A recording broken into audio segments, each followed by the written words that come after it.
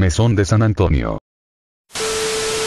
Este mesón fue muy famoso como tal. Aquí se concentraban mineros, comerciantes y arrieros, intercambiando información, mercancías, ideas y dinero.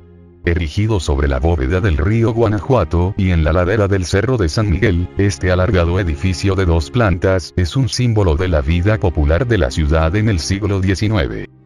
Construido por don Vicente Manuel de Sardaneta, primer marqués de Rayas, el mesón de San Antonio era el sitio mejor acondicionado entre los de su tipo y como hostería funcionó hasta entrado el siglo pasado.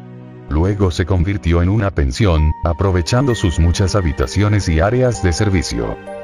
Desde hace más de tres décadas es propiedad de la Universidad de Guanajuato, el recinto ha funcionado también como escenario teatral y suele ser una referencia entre ingenieros y arquitectos por su trazo, en el que destaca, además de su clasicismo, una pequeña lóndiga de dos niveles que servía para almacenar granos.